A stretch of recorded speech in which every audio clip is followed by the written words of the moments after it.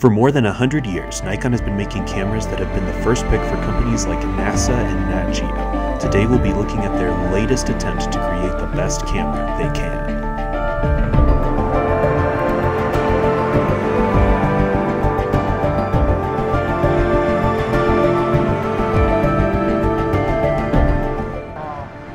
I think compositionally, having these two, you have this real kind of opposing motion, and then it comes up to the moon.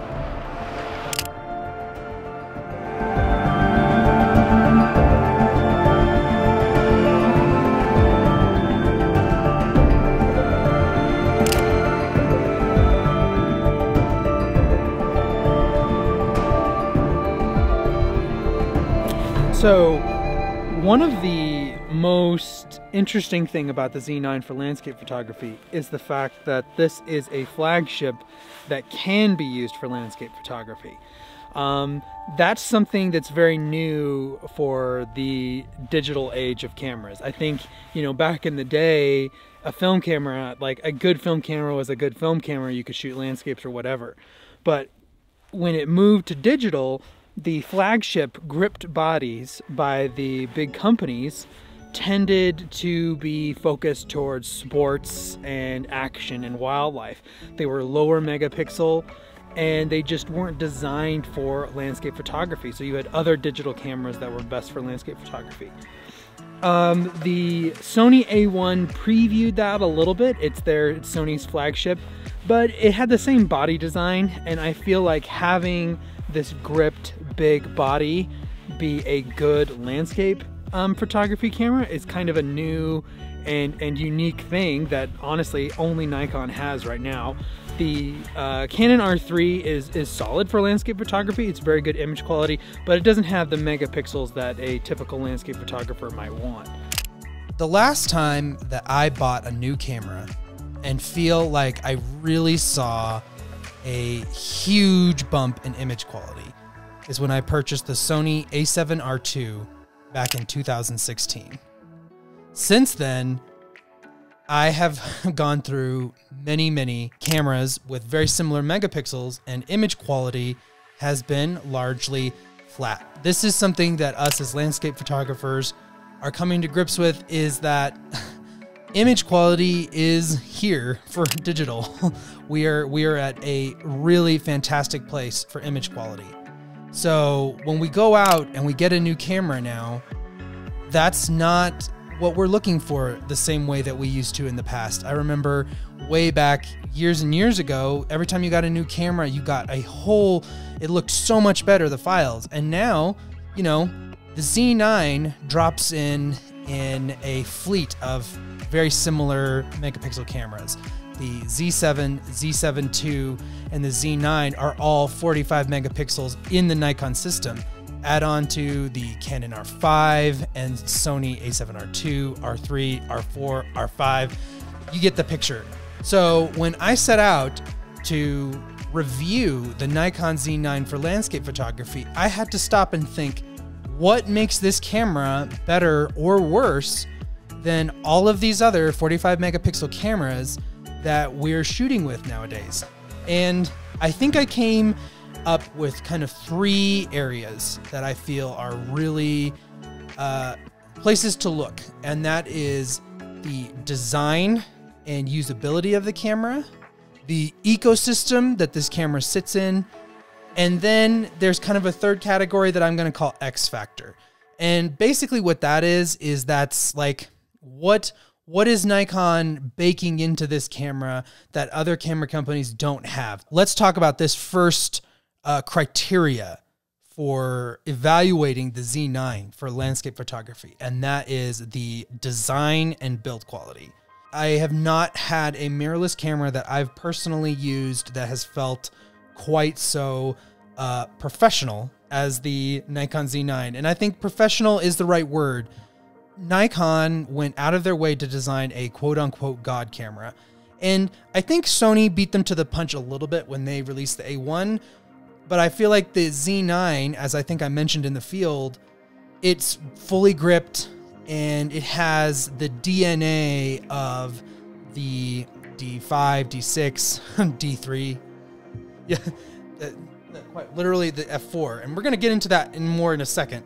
There's so much about this camera that is designed that landscape photographers can, uh, I think the right thing to say is take advantage of. So it's fully weather sealed, like crazy good weather sealed. I've heard stories in the field of people completely submerging these with lenses. It's crazy weather sealed, it's crazy durable, and that's a huge, you know, you can see that in things like the memory card door, which is uh, actually hard to open. And then the battery compartment here, it's like it's all just like so tight and weather sealed. And the Z mount itself, you can tell like it has this little ridge that when you put a lens on, I'll put on the 24 to 120, which when in a second I'm going to talk about is a huge advantage for landscape photographers. Uh, it actually the the the gasketing slides into this groove, so it's like I don't know, it's crazy weather sealed. The Z9. Then, actually, right here, this is another design element. Let's talk about right now is the sensor shield that comes down. This is not the shutter. This is a specially designed sensor shield to come down so that when you swap lenses in the field, dust, muck, grit doesn't get in the sensor. Now, am I swapping lenses in a sandstorm or a rainstorm? No, I am not. But it's still it helps you maintain image quality in the field and is something honestly a landscape photographer or a sports photographer or wildlife photographer are going to be the primary people to take advantage of. The another design element that is fantastic for landscape photographers is this back screen. So the tilt flip screen thing, I have as a stills photographer, I like it to be centered under the eyepiece where it comes out. It's not the, the flip screen. I understand a lot of people like the flip screens, and the A7R5 is kind of best of both worlds, which is really cool. But this one flips out like this. And when this is sitting on a tripod and you're looking down on it, this is just a great user experience. I love it. There are a lot of other little things that Nikon has included in the design that are, again, landscape photographers can take advantage of. There's the bracket button up here. Just setting up a bracketing is as easy as pressing this button. This dial right here takes you to timer mode. The buttons light up in the dark, which we'll get a shot where there's a little darker showing, but that's super nice for shooting at night. It actually has a starlight mode for astrophotography, which allows you to basically see your composition and this and focus on stars, which I haven't actually used because I haven't used this camera for astro. And there's a host of other things on this camera and the camera design that are fantastic. Oh, it goes up to 30 minutes where you can have a shutter speed of 30 minutes, which for long exposures at night or just in various other applications, it's been 30 seconds, capped at 30 seconds for so many years that having it be able to go beyond that is so nice. You don't have to use a remote. You can just use the timer and then set how long you want it to go and just let it go. It's great. So, I've been talking a lot about features that landscape photographers can take advantage of, and they have on here that are just great for landscape photography.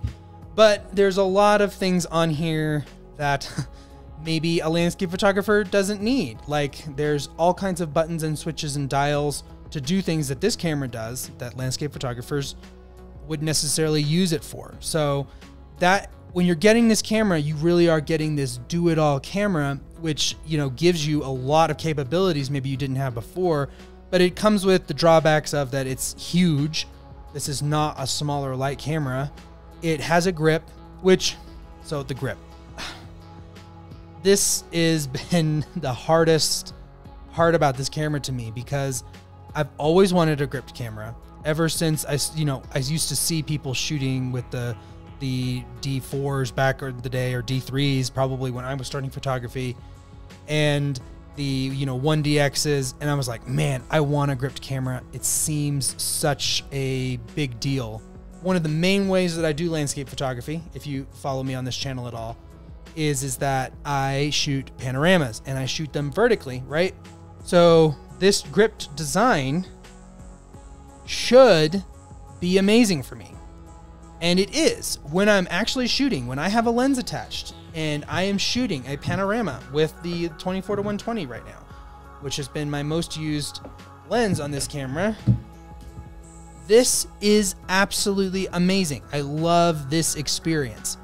Problem is is that I have to get this gripped camera into the field to use it like this.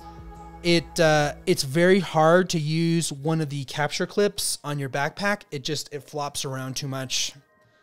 Maybe, maybe you can put up with it, but I can't. So I put it in a bag, and then there's a lot of kind of more outdoor focused hiking bags that this camera just it fits in, but it's it's cozy. My favorite time I've gotten to use this camera for landscape photography, we actually took a multi-day trip to the eastern Sierra Nevada mountains and Death Valley and several other places out there. And I got to use it for landscape photography for several days. So I'm actually going to hop out there and tell you about the lenses, the primary lenses that I've used on this camera.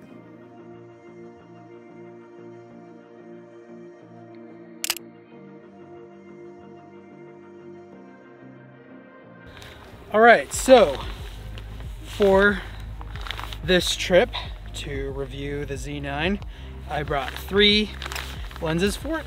And we'll go from widest to tightest. So, widest is the 21.8.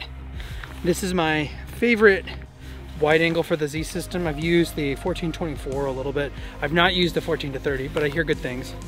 But I just like that it's 1.8, it's small, it's light, and it's uh, you can take filters for video work. So yeah, I went with the 21.8.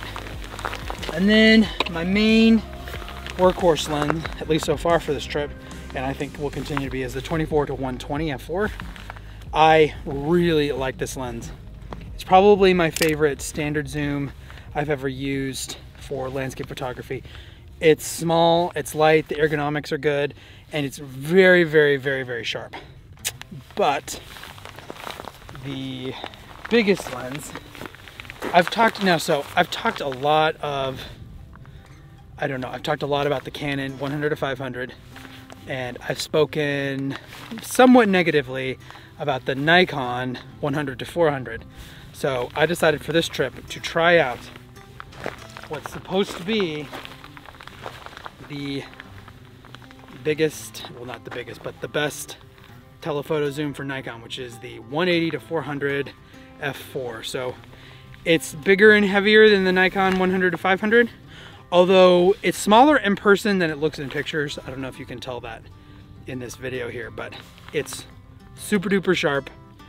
And uh, yeah, so I'm trying it out and I'm gonna make a decision on this trip as to whether this is something that I want to add to my kit permanently but uh, I'm super excited to try it out and use it and get to know it. It seems so far, it seems super, super sharp as the built-in teleconverter, which is cool. And uh, yeah, so hopefully the shots over the next few days will bear out how worth it this monster of a lens is. It does get even huger, huger, huger. If you put this on, it's like a Canon a cannon, like a military cannon. the lens hood doesn't make it like a Canon camera. It'd have to be white. Okay. Like the ground. like the ground. It'd be blend in. We're in Death Valley at the yeah. moment. It looks so like it's looks snow and ice and like it should be super cold. And it is in fact salt. And it is not very cold. So, very cool. Very nice. The second criteria that I talked about for evaluating the Nikon Z9 for landscape photography is the ecosystem. So, what do I mean by ecosystem? Well, I guess I mean the Nikon Z the Nikon Z series. I don't know, like you have this adapter that allows you to use f-mount lenses on the Z9, which is great. It actually performs very well. Uh, in that in earlier I talked about that I used on the trip the 180 to 400 and I guess to end the suspense suspense now I did not keep that cam that lens. So this adapter allows you to use lenses f-mount lenses both new and old um, you're not going to get autofocus with some of the old lenses. The uh, D1H back there has a 51.4 on it that you can manual focus on this uh, camera, but you can't autofocus. But you can mount it and take images with it, which is super cool. So, um, this adapter, to kind of just talk about it because it's part of the ecosystem, this adapter, I'm not the biggest fan of. So, in my opinion, Nikon should have made this adapter to the quality of the most expensive and biggest lens that you would put on it. And I do not feel like it is. I feel like this thing is a liability. I feel like if I were taking, for instance, if I were going on a huge trip, I would want a backup of this. I mean, I'm sure it's fine. Again, it's just another fail point, And I feel like if you, again, if you took a huge lens like that 180 to 400 or a 400 2.8 or a 600 f4, so if you're going out of country with a huge lens, something like the 600 f4, 180 to 400 that I was talking about, I just feel like this thing is is both great because it enables you to use it on a on a modern camera, but also a little bit of a liability. I just would have liked to have had it be made out of metal. I would have liked the switches to feel just a little uh, tougher. But anyway, that's just me on that. So, when I'm talking about the ecosystem, the main thing is the lenses. So, the Nikon Z lenses are absolutely fantastic. They are probably the best lenses that Nikon's ever made. I mean, well, no, they are the best lenses that Nikon's ever made. And my favorite of them. So, honestly, this could be a point all on its own because the reason the Z9 would be great for landscape photography is this 24 to 120 right here. This is the best f4 standard zoom I've ever used. It's also maybe the best standard zoom I've ever used. I, am trying to think of one. The the 24 to 70 Nikon, which I have a review of on this channel, link in the description, is a fantastic lens, super sharp. I've it's the only 2470 I've actually used for landscape photography consistently. Um, but I don't have that lens anymore because I didn't need it anymore because this one is smaller, lighter, sharper, and gives you up to 120, which I think is really nice. Instead of capping it at that 105, you get that little extra, which means that I'm just less inclined to pack a telephoto, you know, if I don't really need it because I get that little extra reach. So 24 to 120, a fantastic lens. I used it hands down the most on the trip. I got a lot of really good shots with the uh, 180 to 400, but I took way more of this. And then uh, I have the 21.8. I already talked about it, but these little 1.8 primes are interesting, so we can just talk about them in general as part of the ecosystem. Uh, Nikon doesn't have Nikon has 1.8 primes that are S lenses, so they're their higher range. They're very sharp. They're very great. They've got good build quality. They're on the expensive side for 1.8 lenses. Uh, the 20 here, I think, goes for, I think I paid 700 for it used, but I think brand new, it's like 11 something maybe. I'm not sure. We'll put it on the screen. Uh, the 50 1.8 is really nice. And then back here, this is the other series of primes. They just announced the 85 1.2, and then this is the 50 1.2 that I tried out for a portrait shoot. And uh, crazy sharp and also crazy big and just crazy. So, uh, the lens ecosystem for for the Nikon Z series is really good, all high quality. I don't feel like it's as unique as Canon's, if that makes sense. I feel like Canon is pushing more the development of the new lenses into a new arena. For instance, the 7200 is shorter and lighter and easier to pack. You have the 100 to 500, which, you know, is like a 100 to 400, but it goes to 500 and then is also super sharp. I've talked about that lens too much. And then and then you know, you have the 28 to 70, whatever. I mean, you might not use that lens for landscape photography that much, but you kind of get my point. With Nikon, things are a little bit more traditional. I think the exception to that rule would be this 24 to 120. Now, this is not the first Nikon 24 to 120, but it's the first that's up to this image quality. But they're being a little bit more conventional with their releases. There's the 100 to 400, which I have another video about that it's kind of controversial, but I, in my experience, it didn't hold up at distance as well as some of the other lenses. I, I, you know, I wish I had tried more than one copy, but you know, that's kind of the way it is. It's a great lens. Honestly, if you're a landscape photographer, you're going to really love it. But there's another thing about the ecosystem is that you have the Z7 and the Z7 II. And this is where things get dicey for our friend Z9 here because while for virtually every other genre of photography, whether that be portraits or sports or wildlife or events or anything else you can think of, the Z9 is absolutely top notch, super superior to anything else Nikon has. It's actually a liability, I think, for Nikon that this is the only, I think, competitive camera as far as, you know, the whole of photography goes. For landscape photography, the Z7 II, for a lot less money, has at least 90%, 90%, 90% of what the Z9 brings to the table. Plus, it's smaller and lighter, and it is, you know, you can get them for half of the Z9. So, I have a whole video again about the Z7 II, but you know, so that to me, as far as the Z9 goes, you know, it's a great, it may make a great second body. So you could look at it that way, but you could also look at it like, why would I get a Z9 instead of a Z7 II? I do think there are reasons. The starlight mode, the build quality is higher.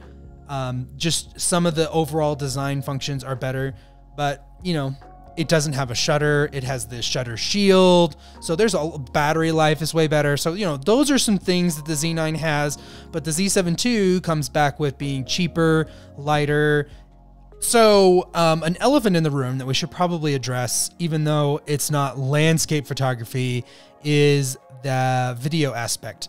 And I'm putting this in the ecosystem segment because the Z9 is absolutely astoundingly good for video. It shoots every type of video in every type of format you'd want. It's the autofocus is good, the image quality is good. It's fantastic. Uh, the problem is, is that the rest of the Nikon ecosystem is pretty terrible for video, um, including that Z7 II is still 8-bit. Like, it's just as a whole, the Nikon ecosystem is not fantastic for video outside of the Z9. So that's like a little side note ecosystem thing. And then also just to tell you that like if you're interested in video as well. So that would be a real reason to buy the Z9 if you're a landscape photographer and also are interested in doing video because it is so good for video. Okay, so before we go to our my third criteria for evaluating the Z9, I do have to talk about image quality. And I know I talked about earlier that image quality is like a largely flat thing now between all the cameras and the systems as then like we've reached a level where like you can get great images with any camera. The Z9 and the Nikon Z system does have absolutely fantastic image quality particularly at that 45 megapixel range.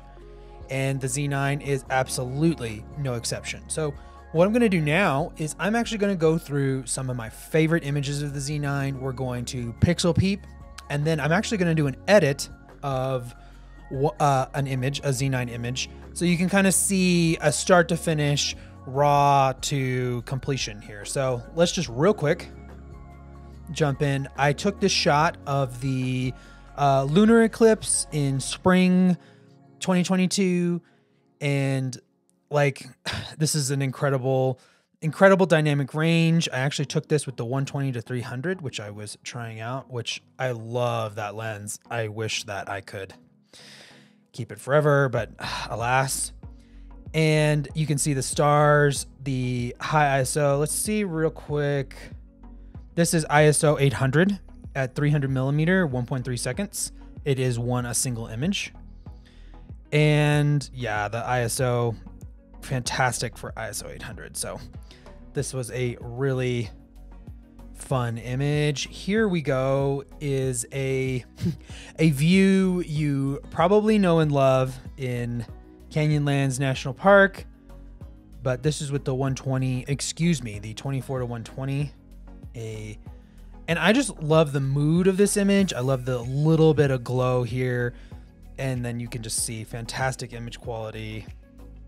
Yeah, I just I love the colors, the, dy- the dynamic range. Uh, Zion National Park in Utah. Again, just really nice colors. I feel like uh, Nikon, the warm tones of the Red Rocks of Utah is just like a wonderland for Nikon. You can see the moon over here. Uh, great dynamic range. That was a really fun sunset in Zion. Uh, Death Valley National Park, and again the colors, that Nikon blue. I feel like the the Z9 has that signature with the the blue here in the foreground. I feel like that's kind of a signature of Nikon. I feel like that's a way that I can kind of pick up on a. This is a focus stacked image and is extremely sharp. This is with the, I believe, uh, 24 to 120 again. So, as was this one, and as was this one. So, the 24 to 120 is a huge deal. This is the image I'm going to edit here in a minute. Uh, here is Mount Whitney at sunset with the 180 to 400 and love the colors love the tones love the sharpness the dynamic range next morning alabama hills the and then this black and white i do feel like of canon sony nikon nikon converts the best to black and white i, I don't know how to explain it it's just their files tend to translate to black and white the best and i feel like this is one of my favorite black and white images I've taken in several years of Lone Pine Peak. Uh, stunning image quality, stunning dynamic range. Yeah, just I love this image. Maybe my favorite image with the Z9. Maybe. Oh, uh, do I have to pick a favorite? I don't know. And Zion National Park at sunrise with this pink sky, which I know it looks fake. It's not fake. It was like that it was the most beautiful December peaceful sunrise I've experienced. And yeah, just a, a pink uh, cotton candy morning that I love. Okay, so let's jump in to doing a quick edit in Lightroom of this image right here. So I'm going to get in the develop module. And the first thing I'm going to do is to crop. So yeah, this is how a raw file straight out of camera raw file for the Z9. So actually, let's go ahead and you can kind of zoom in and see. It's with the uh, 180 to 400 at 400, ISO 64, 180th of a second, if that matters. And I'm going to go ahead and crop in, I think. I'm actually going to unchain my crop here. I think I'm going to come in quite a bit. I kind of like this rock here. Kind of gives a, a, a, a grounding element. Just have the summit of Whitney just slightly off center. So yeah, I like that. Okay, and then I'm gonna add my signature curves adjustment. Is it my signature? I don't know. Uh, it's uh, I kind of I, I I like to start with this curves adjustment. It's a really simple curves. I mean, you can see it's just a standard slight S curve with the uh, black point on the left raised slightly. And I like to do that. I like to start here because it kind of helps with my giving my images a consistent look. I oftentimes will adjust it a little bit here or there and then but I feel like it kind of helps me establish a baseline so I'm gonna up the shadows a little bit. I like right now where the highlights are. And let's just see about warming it up ever so slightly. That was just, man, that was barely a warm up. And I think we're we're doing well. Maybe just a little bit of vibrance. Oh. And then I'm going to do some local adjustments. I'm going to do a radial gradient on the middle of this image.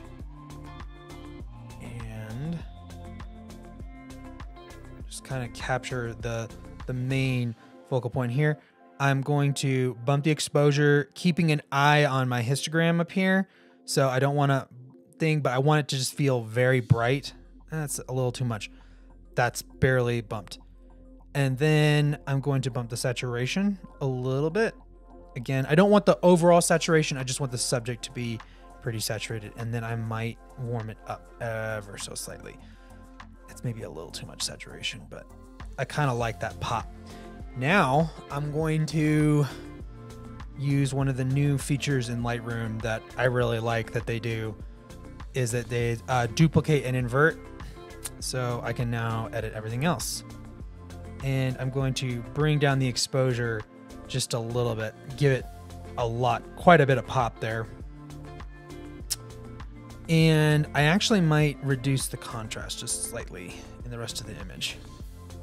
Just, I don't want to overwhelm the subject matter here. So reducing the contrast, the rest of the image helps the subject matter pop.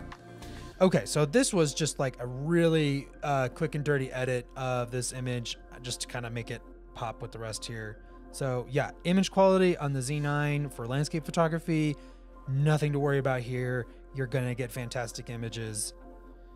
All right, so third and final criteria for evaluating the Z9 is X factor. And before you get super annoyed at me for using a vague term that everybody uses to describe things, let me let me tell you what I where I'm coming from on this because the truth is is that today, like I was talking about with image quality, everything that we do to evaluate these cameras is honestly nitpicking. Like it really is. We live in, I feel like, the golden age of cameras. Like we, it's never been more exciting to be a camera fan. Even as the photography industry shrinks, cameras are just amazing right now and super fun and super great to use.